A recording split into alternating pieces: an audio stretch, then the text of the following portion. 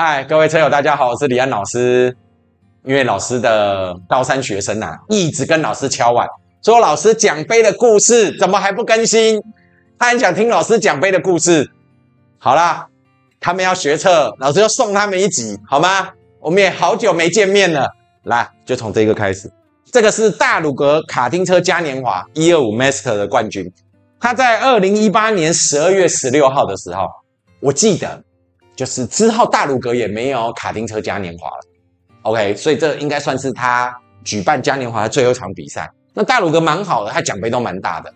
OK，那我来讲一下这个的故事。因为大鲁格算是老师很常练车的场地，所以我算是很熟的啦。我那时候在测试的时候测的不错，在第二，我忘记是第三名还是第四名，很强，是吧？虽然我那时候技术还不是很顶尖，因为二零一八嘛，哦，我技术大爆发顶尖的时候是在呃二零一九、二零二零那时候啊，啊啊，不好意思，这样自己讲不好意思啦，我 只是讲一下，就是。那时候二零一八还没很厉害，所以测到第二排已经超强，哈，人生巅峰了，是不是啊？然后那时候测在第二排，第三名还第四名？预赛一起跑，一号弯，嗯，OK，保持位置；二号弯，OK，保持位置；三号弯，哎，跑，哎，莫名其妙，不知道谁撞我，我就跑到草地上去了。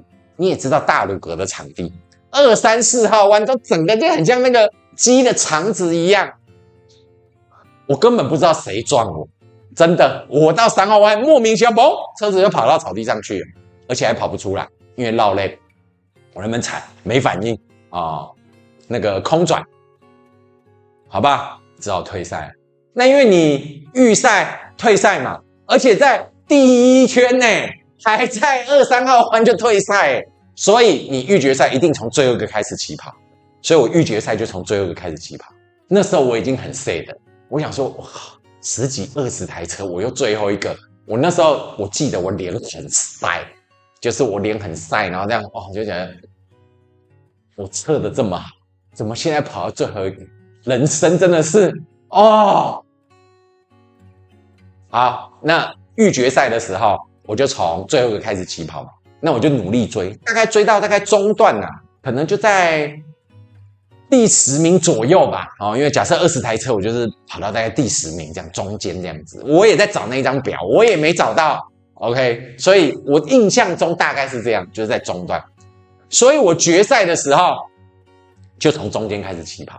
那那时候我已经不抱任何希望，我想说，又要从中间跑啊啊，怎么这样啊？这个地方又这么难超车，对不对？是不是哦？而且没有那么多车，因为大鲁阁赛道比较狭窄一点点的，OK，所以它超车不是那么的容易。然后就跑嘛，啊，跑的时候我当然尽力了，好，可以追几个就追几个，前面有车，看可以超过它就超过它，然后就往下一个去，然后就这样一直一直往前，就追到一个时间，奇怪，怎么前面没有车？我就前面看不到车子了，就是我我前面再也没有目标了，那我就想说啊，那应该啦。是我刚刚在追车子的时候，他们跑掉了，对不对？而且我离前面应该是太远了，有没有？然后最后呃，就开到灰旗，然后我回来，然后我回来的时候，前面也是有排车子啊，是不是？哦，然后我就没想太多，我想说应该是不怎么样，因为回来你大概看一下前面的车子，你就知道说啊，应该就是你大概第几名嘛，所以我就不抱任何期望，真的是不抱任何期望。结果后来就是完了以后，然后我就把车子推回去，我也没估，我也不知道哦。然后最后主办单位就讲，呃，那个李老师的车子要验车。我说哈，李老师车子要验车，因为李老师是 Master 第一。嗯，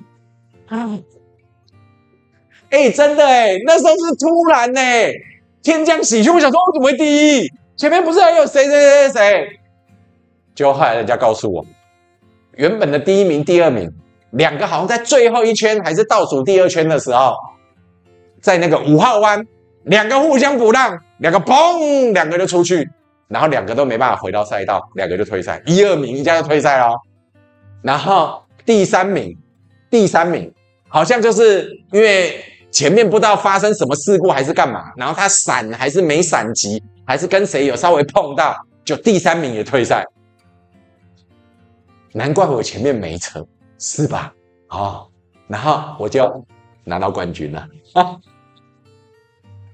所以这告诉我们一件事情：永不放弃，知道吗？因为根本不知道前面发生什么事嘛，对不对？前面任何事情都有可能发生嘛，所以你要干嘛？坚持到底，永不放弃。我常常跟我高三学生讲，老师说，你考完学测，只有一件事情你会后悔。不是因为成绩考不好你会后悔，你唯一会后悔就有一件事情，就是你前面没有尽力。如果你有尽力，你绝对不会后悔。老师跟高三学生是这样讲的。OK，老师自己也这样，永不放弃，坚持到底，幸运就会降临到你身上。OK，所以我就很不好意思啦。OK，啊，职业减是吧？职业站颁奖台，抱歉，抱歉，抱歉。OK。